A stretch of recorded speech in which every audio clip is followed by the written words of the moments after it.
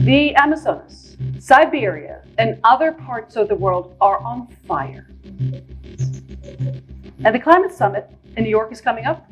What can we expect from, uh, from the climate summit? What output is realistic? And also, we have the global climate strikes coming up from September 20th until t- September 27th. What are the hopes uh, for these strikes? What can, can they achieve? Um, welcome to the show, Vanessa Nakate. You are one, of the global uh, strikers, not so many already, but a few in Uganda. Please uh, welcome to the show, Vanessa Nakate. From Berlin, we have Nick Nuttall, who is Director of Strategic Communications at Earth Day Network. Welcome, Nick. And with us from New York, we have Jill Kubit, who is co-founder of Our Kids Climate. And with me here in the studio, I have Ingmar Rentzhog, CEO and founder of We Don't Have Time. So, Ingmar, please share with us uh, the social media news.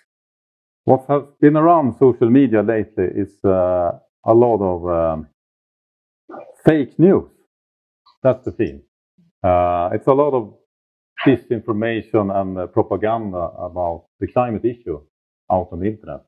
And this is going worse and worse.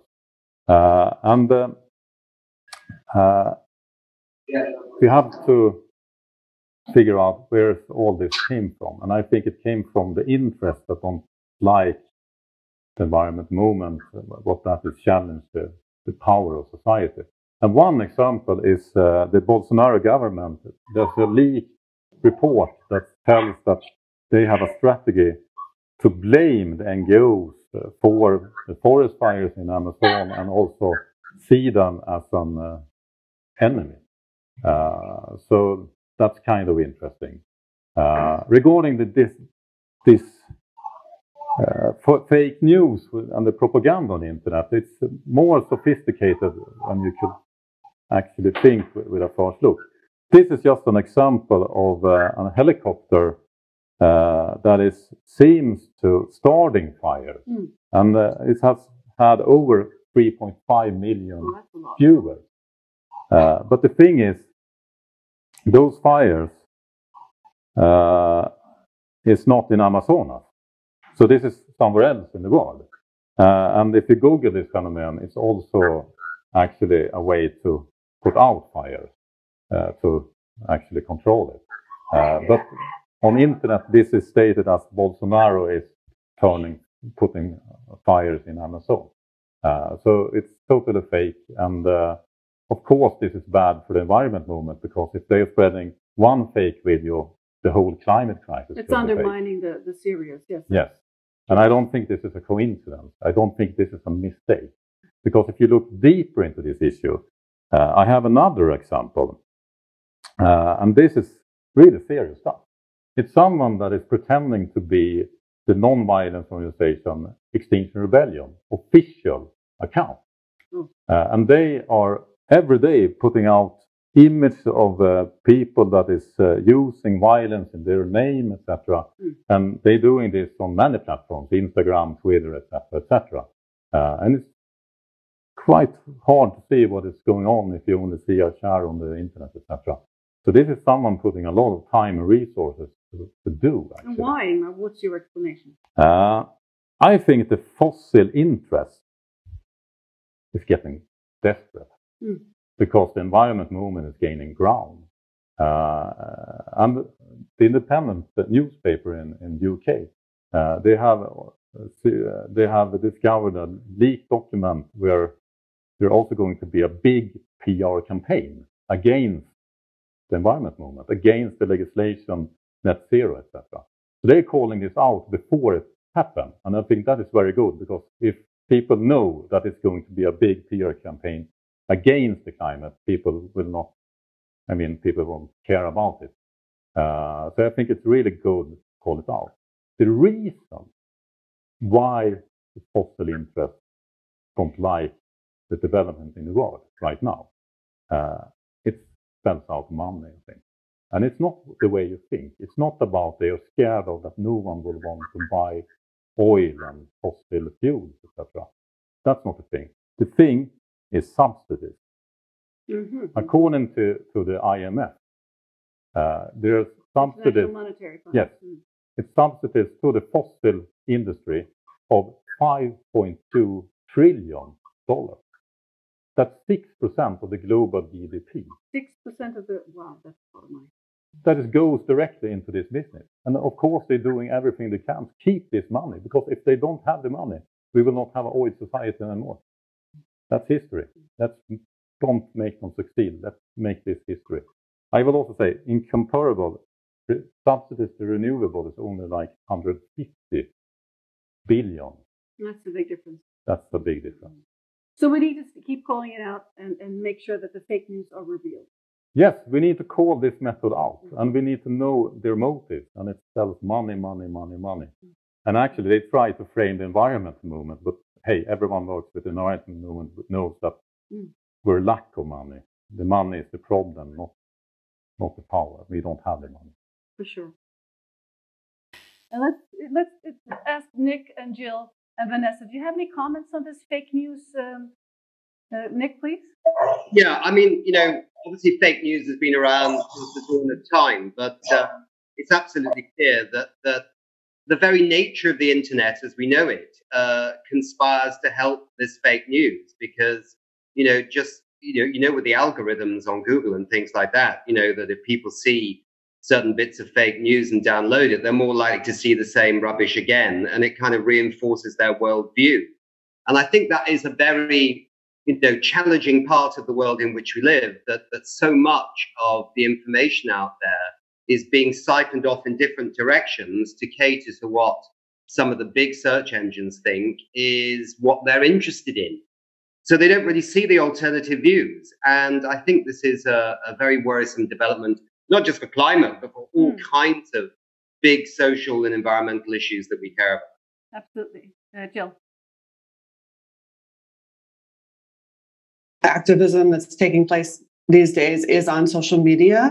Um, and so I would just add that, you know, because the because many photos have been out there on the fires that are from other countries or other fires, is for people to really be conscious of what they're reposting and what they're choosing to share. Thank you. Um, and I think on it's on a, some of it is on us as environmental activists and as leaders of organizations to really make sure that we're not contributing to the problem. Thank you. Vanessa, let's uh, let's hear what you what, what news you, you bring to us. Um, about the fake news, there is a lot of news that keeps being shared on social media. Most of the news is altered as it travels to different kinds of people. By the time it reaches probably the 10th person, it has been completely altered. Mm. So we have to do our best to make sure that the audience and the public receive news directly that is true and that has facts, not altered news, because that article, uh, please could you comment a little bit more about it? What is the article about? yeah, uh, it's about uh, the temperatures in East Africa and how they're going to affect agriculture in the various places. It goes on to say that Uganda is expected to continue having unpredictable rain and dry seasons because scientists have concluded after projecting an increase in temperatures of about 2 degrees Celsius over the next 30 years in Kenya, Tanzania, and Uganda. And, And these climate changes- agriculture. Mm. Yeah, and these climate changes are going to have an impact on the agriculture sector because it is mainly the most important thing, most important sector in all the East African countries, and they depend on rain fed agriculture. So, because of all these changes, we are expected to face a challenge when it comes to agricultural production and productivity. Thank you, Vanessa. Uh, Nick, I'd like to move directly over to you. Uh, what news are you bringing forward? Yeah, well, I mean, this is a, a really big month uh, for climate change and hopefully a very big month for uh, uh, climate action. As we know, on the 23rd of September, I think the news here is the Secretary General of the United Nations, Antonio Guterres, hosting heads of state, prime ministers, and presidents from around the world, and has requested quite, quite specifically that he wants them to come with stepped up ambition in terms of their, their national climate action plans that they all put down for the Paris Agreement of 2015. And you can see some movement happening before the summit. Uh, I mean, Prime Minister Modi of India, for example, was just recently in uh, Paris. He actually announced that, that India would actually achieve its Paris targets, uh, not in 2030, but in a year and a half's time. So, mainly because they've had this enormous drive with solar power. Uh, a Chinese government official was quoted as saying that China will peak its emissions, its maximum emissions, in about 2022, which again is about eight years before their Early. original target under Paris of 2030. And of course, Finland in Scandinavia uh, recently announced that it was going to be carbon neutral in 2035, so advance its long-term target about what it wants to do. So I think we have to keep keep all eyes on the summit on the 23rd. Will more countries come forward saying yes, we're ready to up our ambition? Uh, because this is the window that was foreseen in Paris opening about this time when everyone had to ratchet up uh, their national climate plans. So I think some will announce that uh, on the 23rd. Some may signal they will announce it at the UN climate conference later in the year in Chile, and perhaps some by the UN climate conference next year uh, in 2020, likely to be hosted by the government of the United Kingdom. So I think we're seeing from business, from uh, investors uh, at the Global Climate Action Summit last year in California that the levers of the real economy are ready to step up uh, with more ambition. And that was a signal to New York uh, this year. And I hope the heads of state realize that the full economy is really behind the decarbonization of the global economy and will, as leaders, step up their national climate action plan. So let's see on the 23rd of September what happens. Thank you very much, Nick Nuttall. Uh, any comments from uh, from the rest of you, from you, Ingmar, for instance? Uh, I agree. There's a lot of things happening within the business community. Uh, and uh, what I see is that many companies are as frustrated as we private individuals. So companies are more and more getting active and actually, I will say it's, something new here. It's business activism. Uh, and it's not greenwashing. Great work, it's actually, it? activism. It's actually, I mean, real people working with high level management in businesses, they want to do change. Uh, and uh, I, I, think that if we could, I mean, we need to take care of that uh, movement mm. to make action. And I think the climate meeting in New York and Chile will hopefully be a big uh, player there. It's sounding very promising. Jill Kubit from New York, our Kids Climate co-founder. What news? What would you like to, to highlight for us? Yeah, so today I'm sharing an article um, that's entitled "How Greta Thunberg Captured the World's Attention on Climate," um, and the author really is asking this question of what specifically is it about Greta that appeals to people? Is it the timing, or is there something else about her? Um, and I found it to just to be like a really interesting analysis of some of the things that are specific to Greta, but I think there's lessons that can be learned from for the general public in terms of how we think about our own climate action. Um, and so one of the ideas that the author focuses on is that one thing that Greta does is she really aligns her beliefs with her actions. And so those actions are both, you know, not eating meat and fly not flying, but they're also about getting out and protesting through her through her strikes. And so I think for the general public and for people out there who really care about this issue, you know we can kind of we can learn that we also need to align our beliefs and actions. Um, and one way that we can do this in the really near future which is starting next week is to get out there and join the global climate strikes. Um, and i'm hoping we can talk a bit more about the strikes and and provide information for people about what they can do. I know our kids climate is, is now active in 19 countries. So there will be lots of parents uh, in your in your coalition uh, on the streets and, and on the squares right jill yeah, I think there's a, at this point, they're looking at having over almost a thousand actions um, globally for all different kinds of organizations, not just ours. Mm-hmm. Um, and that is, um, I believe, the most recent estimates where there's 117 countries involved. Um, and so they're really looking for this whole week from the 20th to the 27th to be the largest action, collective action on climate. Nick, please, uh, what would you like to add?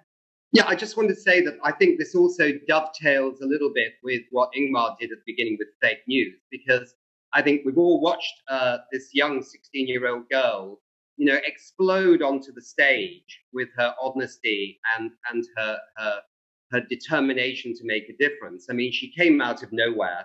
But the fake news now is conspiracy theory. You know, there are big people behind her. There's lots of money behind her. You know, and and I think that this is again a part of the phenomenon that in the time in which we live, we cannot imagine that an ordinary, well, not ordinary, extraordinary 16 year old girl from Sweden could, by her actions of sitting outside the Swedish parliament, create a whole new dynamism in this area of climate change. We find it hard to believe, but it is a story of, of, of, of this. And we really need to nip in the bud this, this, this fake, you know, conspiracy theory around where she's come from. Thank you, Nick. What would you like to add, Ingmar? Yeah, I have, I have my experience with that conspiracy, but mm. we have no time to go into that. I will actually uh, mention that our estimate is 4,000 manifestations. Mm. So it's higher than yours. So I think it's going to be big, big, big. But I also think that it's important to know that this is not just one week. We need to keep the pressure up. And it's a little dangerous to make it huge because it could be a vacuum afterwards. So we need really to do that Greta does. Don't forget it the next week. We need to keep on. Staying for the long run. Vanessa, what's happening in Uganda from the climate uh, perspective of strike? Um, in Uganda, we have more strikers now, uh, like Hilda and Leah, that are taking on the climate strike, and we are planning for the 20th uh, September strike. Uh, personally, I'm working with some other youth that are willing to strike, though they will have most of their first strikes this Friday. They've been inspired by what the other youth are doing, so they're joining in on the strikes. So we will have most of them strike this Friday. And also Fridays for Future Uganda, we have other strikers there that are doing amazing work and all is in plan for 20th September for the global strike. Actually, one of them will be in New York, so she'll be striking with the rest of the teenagers, the rest of the youth out there. Yes, the the the global strike is really growing in Uganda. Wonderful. Anything anybody would like to add to comment? Uh, did you all could you show us a little bit about the news on the on the screen here? We have the article that was Slate magazine. Yeah. Greta, yes. And no, uh, it's, it's fascinating how the analysis, Jill, really sort of cuts to the the core of this argument. Nick, would you like to? Well, I just want to agree with, with what you were saying earlier. I mean, it can't just begin and end with, with what's happening in the September. I mean, we need to look forward. We need to look forward to the crucial year of 2020. And I just want to make a little plug that the Earth Day event next year in April in 2020 will be very, very focused on youth. So watch this space. Well, all hands on deck, right? Exactly. Keep, keep at it. Well, thank you very much, Nick Nuttall from Berlin, and Jill Kubit from New York, and Vanessa from with us from Uganda, Vanessa Nakate. Thank you for joining us, and thank you for sharing. And good luck with the strike, Vanessa, in, in, uh, in Uganda. Thank you.